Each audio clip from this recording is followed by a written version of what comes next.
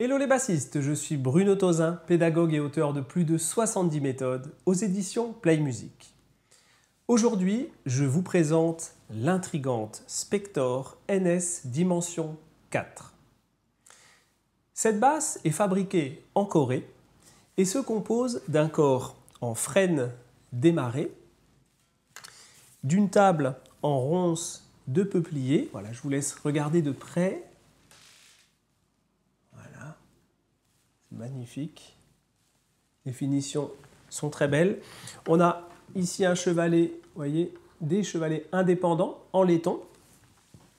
On a une électronique active ici, on a l'accès à la pile, électronique active de bande, basse aiguë.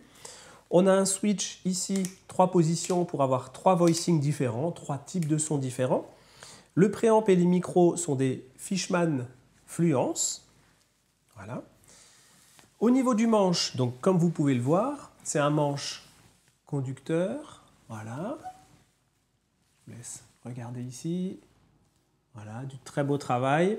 On a un manche donc en érable ici avec du Wenge, c'est un mélange, c'est un manche en cinq parties. Ensuite, quoi d'autre? La touche est en Wenge, on a 24 frettes. Alors comme vous pouvez le voir, les frettes sont en éventail, hein, si vous regardez, voyez, elles partent comme ça, et ici, de ce côté-là, dans ce sens-là. En anglais, c'est feigned fret, voilà. On a ici la tête, voilà, je vous laisse la regarder de plus près, voilà, ici, le dos. Donc elle est vraiment très bien finie, très agréable à jouer. Et donc le diapason là pour les fan frets, c'est 34 pouces pour la corde de sol. Donc là on est vraiment sur un diapason tout à fait standard. Et ça s'étend jusque 36 pouces pour la corde de mi. Donc l'avantage c'est d'avoir les cordes graves avec beaucoup plus de définition. Les cordes sont plus longues donc plus tendues. Et ben, du coup, en fait, le fan fret, c'est très confortable à jouer, parce que ça, c'est une question qui revient souvent, en fait. C'est naturel, voilà. Donc, euh, bah, écoutez, moi j'ai envie de vous dire, le plus simple en fait, c'est d'essayer parce que c'est un avis euh, tout à fait personnel et tout type d'instrument en général, c'est bien, bah, bien de l'essayer pour, pour, voir si personnellement on aime ou pas. Mais le fan fret, en tout cas, c'est vrai que ça a essayé parce que c'est quand même à la mode ces dernières années. Il y, a, de plus en plus de marques qui en font.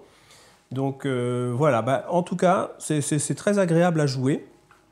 On s'y fait rapidement, voilà. Et euh, bah, écoutez, je vais vous... Ah oui, j'ai oublié une petite chose. Sur le côté, il y a des repères phosphorescents. Alors, je ne sais pas si vous le voyez, mais en tout cas, la nuit, c'est bah, phosphorescent et c'est quand même plutôt bien pensé, c'est pratique. Donc, cette basse, bah, je vais vous faire une petite démo complète. Je vais bidouiller avec les boutons, le switch, je vais jouer au médiator, au doigt, en slap. Donc, je vous conseille d'écouter euh, cette démo au casque ou sur de bonnes enceintes. Et surtout, n'hésitez pas à me dire en commentaire ce que vous en pensez. Bonne écoute